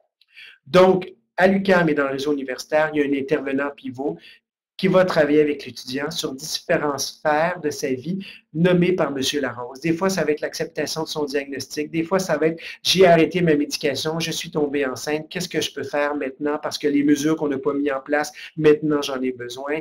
Euh, j'ai de la difficulté à accepter mon diagnostic, qu'est-ce qu'il peut faire? Donc, le conseiller ou la conseillère va travailler avec l'étudiant. Le plus grand défi à l'université, mais c'est la même chose au cégep, vient des nouvelles populations, c'est-à-dire euh, TA, TDA, TM et du spectre de l'autisme. Travailler en amont est un gage de réussite, mais malgré tout ça, on a tous le même défi, c'est qu'on tombe en vacances dans une période où les étudiants tombent également en vacances et on rentre tous à peu près au mois d'août. Donc, il y a un défi. Travailler en amont est une voie, mais c'est pas seulement la seule piste. Il va falloir vraiment essayer de travailler comment les mesures d'évaluation et d'apprentissage. Et là où c'est nouveau, ça rejoint, ça rejoint ce que disait M. Larose, c'est qu'il faut travailler maintenant avec le personnel enseignant. C'est-à-dire qu'avant, une fois que j'avais une salle de cours adaptée, que j'avais donné du braille, que j'avais fourni des interprètes, il y avait peu de chances que le personnel enseignant soit impliqué dans le plan d'intervention de l'étudiant ou de l'étudiante. Aujourd'hui, parce que mesurer l'acquis de connaissances, les examens, ça interpelle un troisième acteur, qui est à dire le personnel enseignant, et il faut absolument l'inclure maintenant dans le plan d'intervention. Donc, il faut aider à la réalisation des travaux, mais il faut également soutenir le développement des stratégies d'apprentissage. L'étudiant n'est pas juste une dyslexie. La jeune fille n'est pas juste quelqu'un avec un trouble anxieux. Peut-être qu'elle a des grandes forces, puis il faut miser là-dessus. Donc, plus je suis en mesure de lui donner c'est quoi non pas les accommodements, mais les défis auxquels elle va faire face, je vais être capable de la, rencontrer. Je peux peut-être aussi la sensibiliser à l'avantage, à divulguer, à divulguer pardon, dans certains cas, l'avantage de parler de sa situation, en particulier dans la préparation des stages, en autant que ça reste à l'interne avec le personnel universitaire ou collégial et non pas avec le milieu de stage. Donc, c'est que l'étudiant ou l'étudiante soit en mesure de réaliser que son projet d'étude n'est pas impossible, mais il va y avoir des grands défis et que s'il n'a pas terminé son cégep parce qu'il trouvait ça difficile, pourquoi ça va être plus facile à l'université? Donc, travailler avec les cégeps à l'idée que c'est pertinent que tu termines ton collégial parce que ça va être plus facilitant pour toi quand tu arrives à l'université. Intervenant pivot pour la personnalisation des interventions. Je préfère qu'un étudiant pour sa première session me sollicite beaucoup plus que qu'il sollicite beaucoup trop son enseignant ou sa direction de programme et qu'il soit stigmatisé parce qu'ils n'auront pas, pas les moyens de comprendre pourquoi il envoie 30 courriels. Un étudiant qui a un trouble du spectre de l'autisme, si on ne lui donne pas la bonne réponse, il va revenir à la charge. L'intervenant pivot va faire le pont avec les pour référer l'étudiant. Soutien à la réussite dans une perspective de macro, c'est-à-dire, je ne vais pas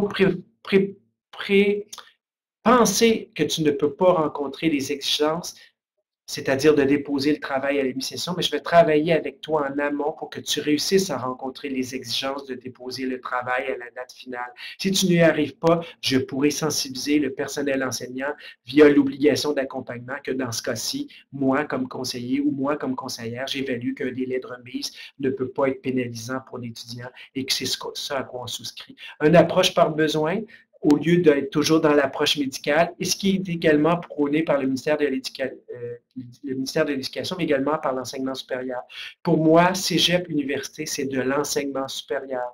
On doit travailler en intérieur, puis on doit essayer de ne plus compartimenter les choses. Dorénavant, bien, il y a une obligation de plan d'intervention du primaire au secondaire. Il y en a euh, depuis 2014, si je ne me trompe pas, au collégial. À l'université, c'est depuis 2015 et il y a un financement qui n'est plus au service, euh, qui est non plus à l'étudiant, mais au service, qui permet de peut-être penser que si je travaille à l'idée que les nouvelles technologies peuvent dispenser une coupure de service dans la prise de notes, mais me permet d'avoir un intervenant pivot qui va travailler à outiller l'étudiant à développer des, stratégies, des stratégies pour le rendre plus autonome, je, je suis beaucoup plus efficient dans ma façon d'accompagner l'étudiant. Une continuité logique, d'accompagnement travailler en amont en interordre. on l'a vu au cégep de Sherbrooke, on le voit dans les cégeps euh, dans la grande région de Montréal, mais il faudrait le voir dans l'ensemble du Québec. Pour faire face à ça, ben, il faut un transfert de dossiers, un partage d'expertise et des pratiques. Mais il faudrait peut-être aussi s'arrimer sur des modèles qui sont similaires. Je vous ai proposé le processus de production du handicap, qui est un modèle social du handicap, qui ne répond pas à tout, mais qui peut être très bien une bonne base pour savoir les bons mots qu'on utilise. Nous, on utilise à l'université aménagement et non pas accommodement raisonnable. Pourquoi? Parce que quand je parle avec un personnel enseignant d'accommodement raisonnable, tout de suite, je suis dans une perspective de droit je ne le mets pas de mon côté. Si je parle d'aménagement, je l'invite à collaborer dans sa pratique, à changer ses paradigmes d'évaluation parce qu'il génère chez moi des situations de handicap et que s'il ne veut malheureusement pas collaborer à ce que je mets, je devrais aller vers le principe de l'accommodement raisonnable et parler d'obligations légales qui sont l'article 10 de la Charte des droits qui est le moyen pour pallier le handicap. Pour le conseiller, ben, il faut créer un espace-temps pour la mise en place. Je pense que vous l'avez bien démontré, Jean-Marie et José. Comment on peut faire ça? On peut le faire avec l'étudiant comme vous l'avez fait avec l'élève avant qu'il devienne étudiant. Je pense que pour les conseillers et les conseillères, il faut se trouver des moments par du co-développement, interordre, intercollégial, parler des pratiques inclusives pour favoriser la réflexion, pourquoi je dis oui comme conseiller ou comme conseillère et pourquoi je dis non. Et quand je dis non, ben, est-ce que je suis capable de mesurer le pourquoi j'ai dit non? Parce que si j'ai une plainte autant à ma direction qu'à la Commission des droits de la personne ou à l'Ombudsman, je serai capable comme professionnel en éducation de démontrer le processus que j'ai mis de l'avant et que se souscrire à l'aménagement ou à l'accommodement, ce n'est pas nécessairement la réponse du besoin que l'étudiant pense qu'il va avoir mais que le conseiller évalue que dans le cadre de ce cours-ci, dans ton cheminement universitaire ou collégial, c'est cette réponse-là qui peut compenser ta situation de handicap. Une réponse officiante aux périodes de pointe. Nous, on a un intervenant pivot, on a la, plage, la plage en rendez-vous. On a un mandat avec nos, en conformité avec nos obligations légales c'est un changement majeur de paradigme qui bouleverse beaucoup les pratiques chez le personnel enseignant parce qu'on parle de pratiques inclusives. Donc, il faut travailler en amont également à accompagner le personnel enseignant. Et pour faire face à ça, je ramène en arrière le comité interordre qui a travaillé avec une subvention du ministère de l'Éducation avec deux cégeps Cégep du Vieux-Montréal et le Cégep Montmorency, l'Université de Montréal et l'UQAM en 2013, qui arrivaient à des conclusions qu'on voit dans la pratique. C'est que la croissance, elle va un jour plafonner, mais actuellement, pour les nouvelles populations, elle va se poursuivre, Jean-Marie. Donc, les demandes d'examen, on va en voir de plus en plus. Si on ne change pas les pratiques de mode d'évaluation dans une idée d'inclusion, on va toujours gérer que des examens, alors que je pense que le rôle des services collégiaux, euh, CSSI et euh, l'ACSECH et le rôle du conseiller de la conseillère est beaucoup plus grand que ça. Donc, il faut valoriser la concertation. Il faut poursuivre la recherche, et ça, M. Larose est tout à fait la personne désignée, à savoir le tiers-temps qu'on donne, si on se fie à ce que vous avez mis aussi dans votre référence, la Commission des droits de la personne n'évalue pas que le besoin d'accommodement ne se quantifie pas par le temps. Et on a des étudiants, des étudiantes, mais je veux mon 50% mais ton 50 à l'université ne s'applique pas parce qu'on est dans une pédagogie inclusive. Donc, tu as une heure déjà. Donc, si je rajoute déjà une heure à cette heure-là, tu as déjà 50% du temps. Donc, de changer le paradigme sur deux axes importants, c'est-à-dire le personnel enseignant, les enseignants pour développer des modèles de pédagogie je rajouterais à ça inclusif. Sensibiliser le personnel enseignant pour développer des modèles de pédagogie je rajouterais à ça inclusif. C'est-à-dire que si j'inclus le personnel enseignant l'idée qu'il va faire face à toute la clientèle qu'a présenté M. Larose, on va aussi, en bout de ligne, rejoindre les étudiants en de handicap parce que les étudiants internationaux arrivent avec des lacunes pédagogiques aussi. Mais si de par ma pratique, je peux répondre à l'étudiant situation de handicap, je réponds également à plein d'autres usagers euh, qui sont dans mon cours, une pérennité dans nos établissements, c'est-à-dire que nos directions comprennent qu'au regard des statistiques, mais de nos obligations légales, il faut qu'il y ait des intervenants pivots et que ça soit pérenne dans nos établissements, parce que le mandat légal est plus grand que nous et qu'au final, qu'un étudiant ou étudiante porte plainte, ben, s'il porte plainte, il va y avoir un processus qui va amener euh, la Commission des droits de la personne à se pencher. C'est un dossier dans lequel l'établissement va être euh, deux à trois ans impliqué. Donc, si on donne les moyens aux structures en place, et c'est ce que le financement du ministère de l'Éducation voulait dans l'idée de répondre à une plus grande diversité de besoins, ben, c'est le, le conseiller ou la conseillère pour les étudiants en situation de handicap, pourra peut-être rejoindre ce que M. Larose disait en tout début d'introduction, c'est de travailler à l'ensemble des autres clientèles qui ont également des besoins, parce que l'objectif de toute éducation devrait de, de projeter chacun dans l'aventure d'une vie, à découvrir, à orienter, puis à construire sa propre vie, ce qui amène l'étudiant ou l'étudiante à rêver d'un projet d'études. Qu'il soit en situation de handicap, il n'est pas différent. Il rêve à réussir son cégep, parce qu'il veut intégrer le marché du travail, il veut venir à l'université parce qu'il veut intégrer le marché du travail. Donc, comment nous, on peut l'aider à faire face à ces défis-là? J'ai mis quelques références et quelques rapports qui sont en lien avec la prise de parole. Est-ce que je suis dans mon temps, Alexandre? Euh, ben, tout le monde a pris un petit peu plus de temps, mais je pense que c'était euh, pertinent pour l'ensemble des panélistes. Puis, euh, ben, je, pense que ça fait un bon tour de la question aussi. on, va, on va procéder immédiatement à la période de questions. Euh, il y a quelques questions dans le clavardage qui ont ressorti à la suite de, vos interventions. Euh, j'en combinerai deux euh, destinées à, Jean et Marie-Josée dans ce premier temps. Des, bon, des intervenants, des, participants sur le clavardage se demandaient, avec un gros bassin d'étudiants comme ça, aussi pour vous, de votre côté, Sylvain, combien vous avez d'intervenants dans votre service?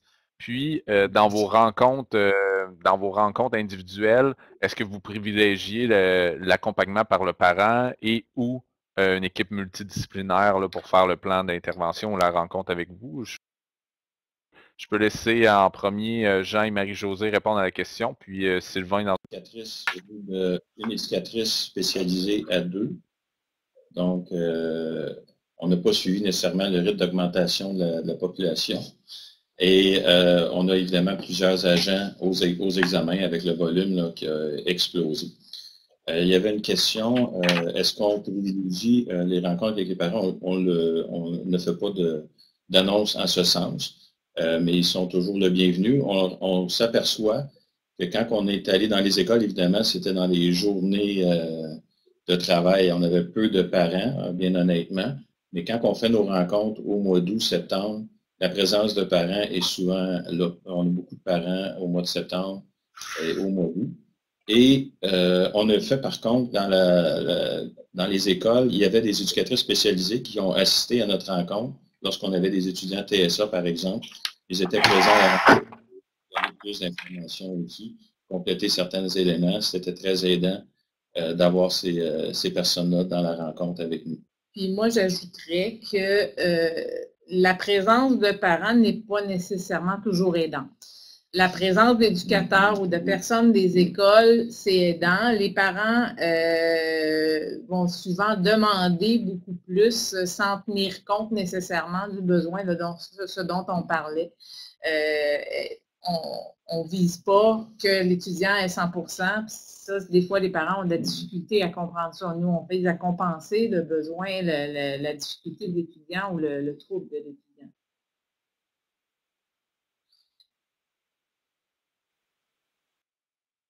Euh, Monsieur Lemier, on ne vous entend pas, votre micro est éteint. C'est bon? Euh, J'irai dans le même sens de Marie-Josée. Euh, les parents, je peux comprendre pourquoi ils veulent s'impliquer. Souvent, ils se sont tellement battus du primaire pour avoir des services qu'après, ils s'imaginent, mais souvent, euh, ce que je vois dans mon bureau, l'étudiant veut prendre une certaine distance, il devient un peu plus adulte, il souhaite, mais on refuse jamais euh, les parents lors d'une rencontre si l'étudiant ou même la personne qui accompagne l'étudiant peut toujours venir. Euh, je dis toujours aux conseillers, aux conseillères en situation de handicap, avant de répondre à la question de Mme Laforêt, d'être présent partout c'est-à-dire de proposer de participer aux réunions départementales si c'est possible. quand il y a des journées portes ouvertes, moi, je suis toujours avec un kiosque, situation de handicap, et là, je rencontre les étudiants des cégeps. Pour favoriser la transition, ce que je dis toujours aux étudiants et étudiantes, demande une copie numérique de ton plan d'intervention que tu as eu au cégep et toutes les pièces justificatives que tu as déposées à ta conseillère ou à ta conseillère dans ton CSSI pour être en mesure qu'elle fasse un plan d'intervention. Et mon rôle, pour éviter d'être surchargé, quand l'étudiant m'arrive du cégep, je vais peut-être le voir une trentaine de minutes parce qu'il y a déjà un professionnel avant moi qui a évalué une grande partie du travail. Mon rôle, ça va plutôt être de voir en lien avec son programme d'études et les cours qu'il prend, est-ce que ça, c'est réalisable et comment je peux le déployer? Éviter de réinventer la roue, dire, j'aurais fait une autre analyse de besoin alors qu'un collègue du cégep a déjà fait une analyse. Mon rôle, ça veut dire à l'étudiant, je te rassure, ce que tu avais là va peut-être pas se faire de la même façon, mais moi, comme intervenant pivot, je peux t'accompagner de façon ponctuelle dans l'ensemble de tes besoins concernant la transition. Mais je vais quand même reconduire le plan d'intervention que ton conseiller ou ta conseillère a fait au cégep. Pour la partie enseignante que Mme Laforêt soulève, on a développé une application, c'est-à-dire que j'ai un plan d'intervention que j'ai fait avec l'étudiant, que lui peut consulter en tout temps, qu'il doit approuver, qui est une obligation du ministère. C'est à l'étudiant sur son handicap d'envoyer sa lettre d'aménagement.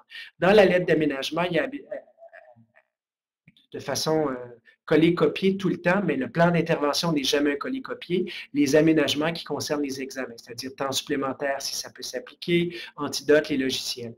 Et j'évalue les besoins de l'étudiant. Et là, c'est là que je vais demander à l'enseignant de communiquer avec moi si l'étudiant trouve que c'est une une, des interventions pertinentes. Ça va être souvent un des, un des aménagements qu'on va mettre pour les TSA, c'est-à-dire que l'étudiant va souhaiter que l'enseignant puisse communiquer avec moi. Et là, l'étudiant envoie sa lettre d'aménagement dans laquelle il y a une série de mesures qui peut, qui peut dire la condition médicale nécessite que l'enseignant communique avec le conseiller.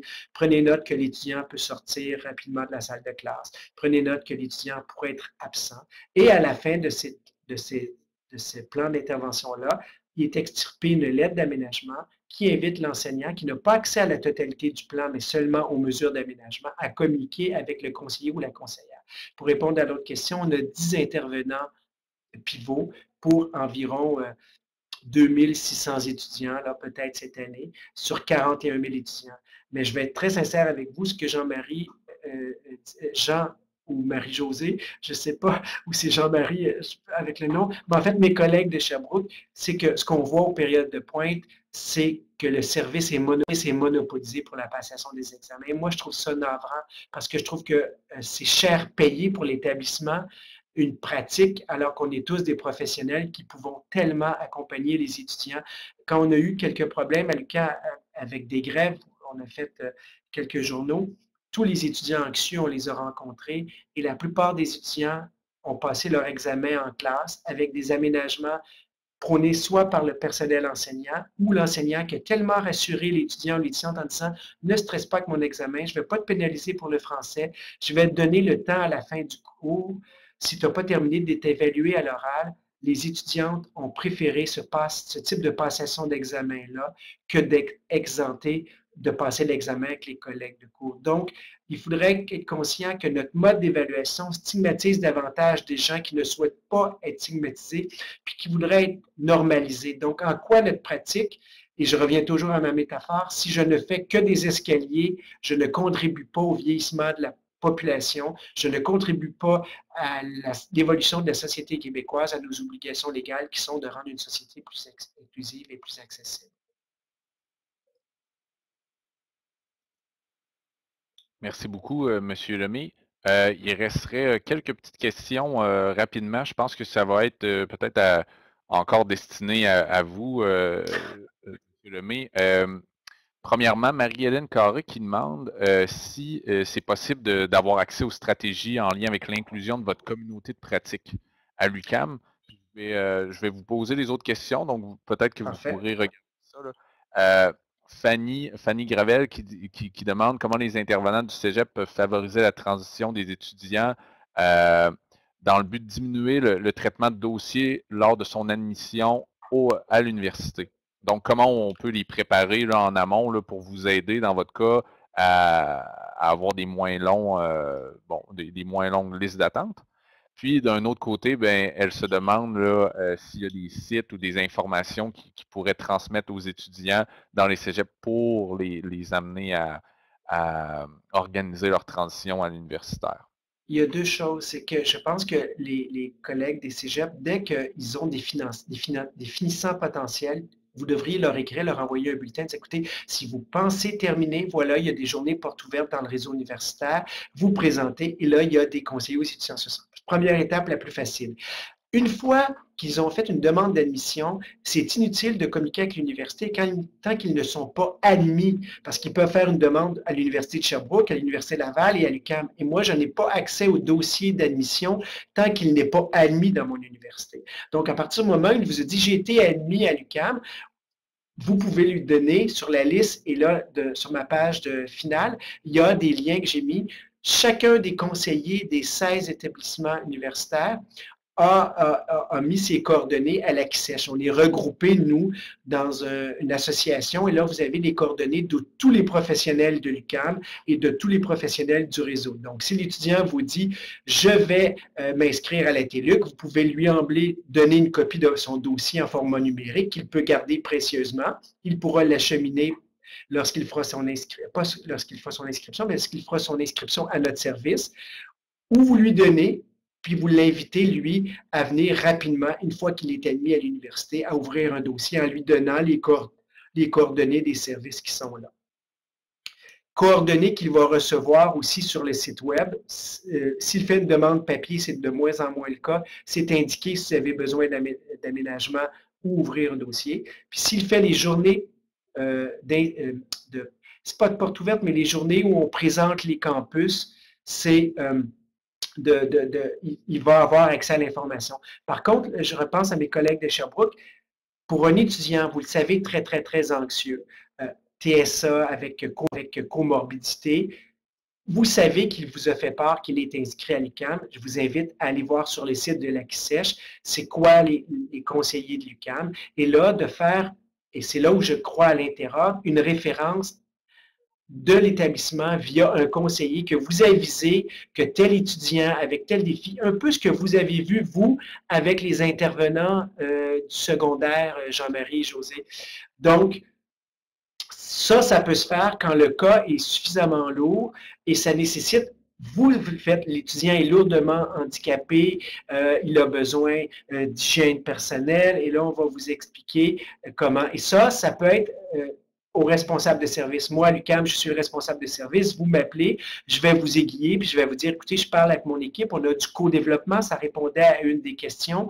On favorise le co-développement, donc un conseiller ou une conseillère avec arrive avec un cas. J'ai tel étudiant qui me demande tel accommodement, le personnel enseignant ne veut pas. Comment je peux outiller? Et le personnel enseignant à dire oui ou l'étudiant changer ses pratiques. Nous, on fait du co-développement une fois par deux semaines et c'est une pratique aussi qui est générée par la CISECH qui invite aussi les collègues des cégeps par des journées d'études deux fois par année. C'est un bon moment et quand moi j'étais président de la pour, on a fait un colloque international qui était à l'Université Laval où il y a eu beaucoup de gens interordres. Et ça, je pense que via l'ACCES, ça peut être un des pôles, soit pour les guides qui ont été développés là.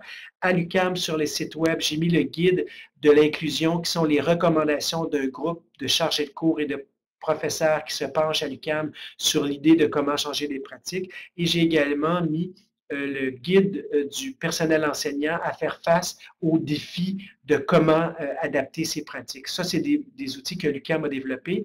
Mais si vous allez sur le site web de l'ACCEF, vous allez avoir l'ensemble des outils, mais autant pour l'Université Laval, qui est très avancée aussi dans, la pédagogie inclusive, de par des projets, des projets pilotes. Ça, vous pourriez très bien voir avec Anne-Louise Fournier, qui est coordonnatrice à l'Université Laval, l'étude qu'ils sont en train de faire sur la pédagogie inclusive, c'est-à-dire d'accompagner le personnel enseignant dans son changement de pratique. Parce que si l'étudiant a besoin d'être accompagné, le personnel enseignant qui a des pratiques depuis les 20 dernières années et qui n'est pas euh, très habile avec les nouvelles technologies aura besoin d'un intervenant ou d'un intervenant de pivot pour l'accompagner.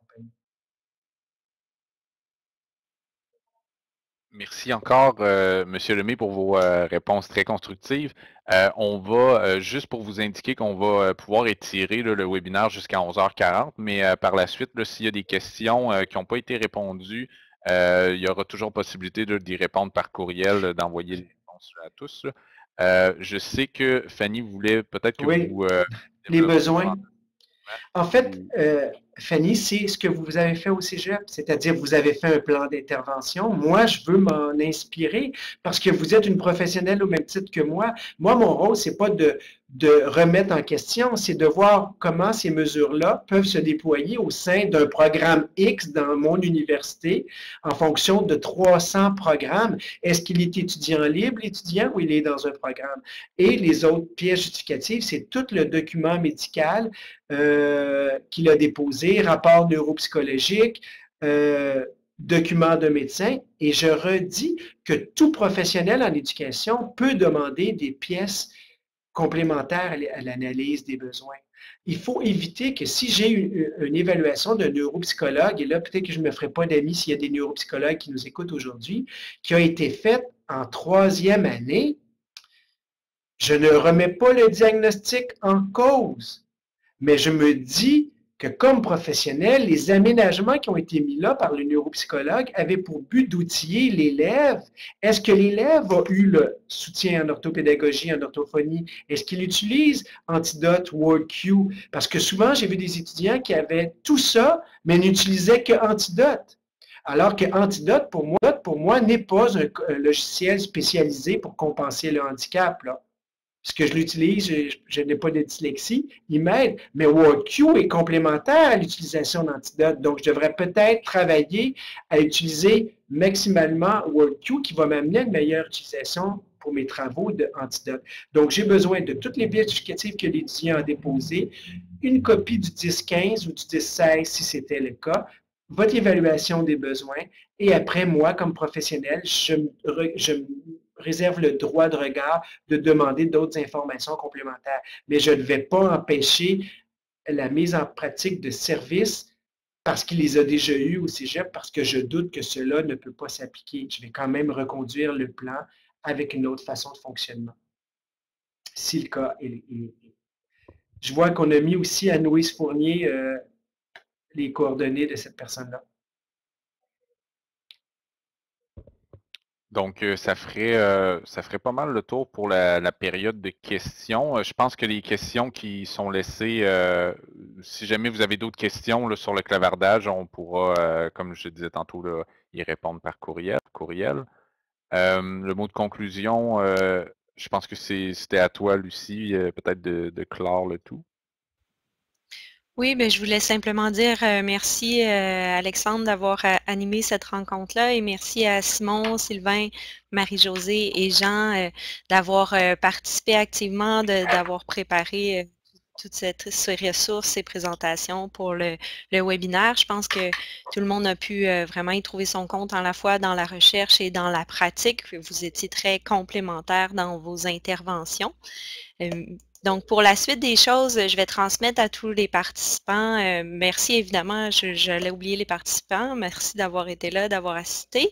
Euh, je vous transmets tout à l'heure euh, les liens pour accéder aux présentations pour les présentateurs qui voudront bien qu'on les, les, dépose. Elles seront accessibles. Le webinaire sera aussi accessible. Il a été enregistré et il sera accessible en vidéo d'ici deux à trois semaines. Je vous envoie tous les liens nécessaires je vous envoie également toutes les informations sur nos prochaines activités dans la même série. Donc, euh, notre prochaine activité justifier et déterminer les accommodements regard pratique se tiendra le 14 février de 10h à 11h30. J'ai déjà ouvert les inscriptions, donc vous pourrez, en recevant le courriel, vous y inscrire dès maintenant si ça vous intéresse. Et euh, le prochain à noter, c'est le 25 mars à 10h également.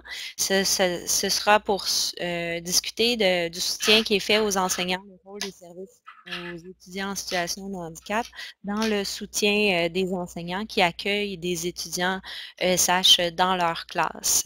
Euh, donc, euh, pour ne rien manquer de tout ça, évidemment, vous pouvez vous inscrire à notre infolette sur le site web du CAPRES. Merci beaucoup, puis à une prochaine fois. Au plaisir. Merci. Merci beaucoup.